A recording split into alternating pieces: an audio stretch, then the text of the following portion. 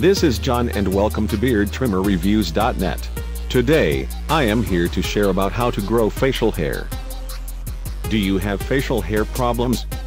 Do you see other people with good beards and want to grow one but are unable to do so? Sometimes you'll wonder how to grow facial hair and how to increase facial hair growth. Do you ever wonder what the problem with your hair growth is? Here are some useful tips for you. First one is do oil massage.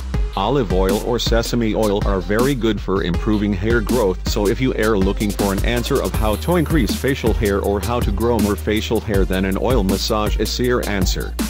This is one of the home remedies that have effective results in hair growth and making your hair texture thicker. Here is the picture of how grow the beard by using oil. Jojoba and grapeseed oil. Jojoba and grapeseed oil is also very good to grow facial hair and these oils are also known for improving the hair texture. If you are facing a problem of less facial hair and want to grow more hair on your face then you should daily apply jojoba and grapeseed oil on your facial hair areas and massage for few minutes.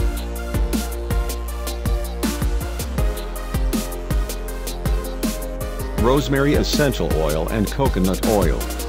Many people these days use a mixture of rosemary essential oil and coconut oil to grow natural and thicker hair. All you need to do is make a mixture of 1 to 10 proportions that is 10 parts of coconut oil and 1 part of rosemary oil and apply this mixture on your face. Leave the oil on your face and wash your face after 20 minutes. Apply the mixture 2 times daily.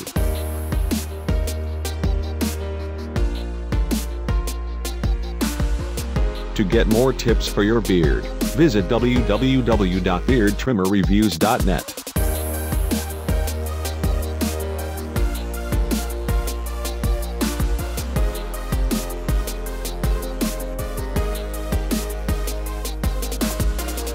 Like this video and subscribe our channel to get the notification of new video about beard on your inbox. Thanks.